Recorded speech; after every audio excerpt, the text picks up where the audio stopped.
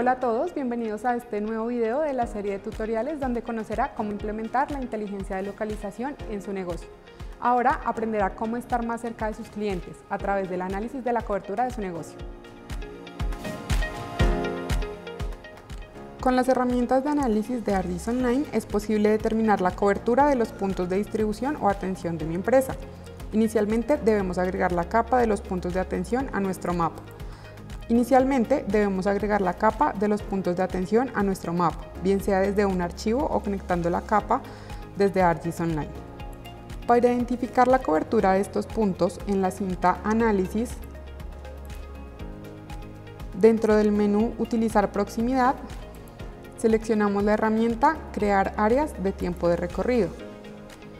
Inicialmente elegimos la capa que vamos a procesar la manera en que vamos a medir el tiempo de desplazamiento. Para nuestro ejemplo, tiempo a pie. Definimos el periodo de tiempo para este ejercicio 10 minutos. Si quisiéramos parametrizar algún tiempo inicial, podemos definir la dirección del viaje. Eso quiere decir desde nuestra instalación o hacia nuestra instalación.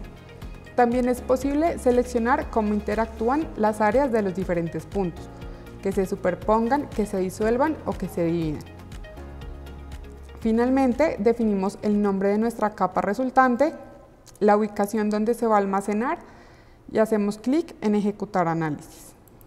Una vez se ejecute el análisis, aparecerá la capa en nuestro panel de contenido. De esta manera es posible identificar las zonas donde hay vacíos de acceso y tomar medidas para ampliar la cobertura de nuestro negocio. Recuerde que su licencia de prueba estará activa durante 21 días. Esta es una gran oportunidad para que consolide la localización inteligente dentro de su organización. Para más información, visite nuestra página web o escríbanos a contacto.com.